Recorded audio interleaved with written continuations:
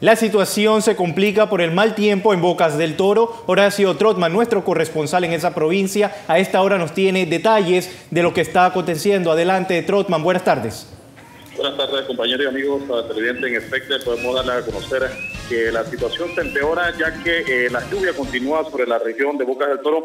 Específicamente, por segunda vez se ve obstaculizado el tráfico vehicular a la altura de la carretera en el corregimiento de Punta Peña, distrito de Chiriquí Grande, por las fuertes lluvias, pero el rápido operativo que realiza el Ministerio de Obras Públicas en conjunto con otras instituciones pudieron despejar la vía a eso de las 8 y 30 de la mañana de hoy cuando en horas de la madrugada la fuerte lluvia provocará también desbordamiento de algunos afluentes y quebradas en el distrito de Chiriquí Grande. En estos momentos el equipo encabezado por el gobernador y el Sistema Nacional de Protección Civil viajan para Chiriquí Grande para iniciar los trabajos también y ver cómo está la situación de la quebrada y los ríos en esta región del país. Cabe destacar que en estos momentos ha minorado un poco la lluvia, pero se mantiene el mal tiempo para esta región del país y esto es provocante, es preocupante para la, la población y también se recomienda por parte de las autoridades a todos los vehículos que transiten esa vía Chiriquí Grande hacia las afueras de la provincia tomar todas las precauciones necesarias porque eh, se están dando algunos puntos eh, bastante críticos y que podrían ser los deslizamientos, entonces tomar las precauciones necesarias. Para los próximos informativos estaremos dándoles mayores detalles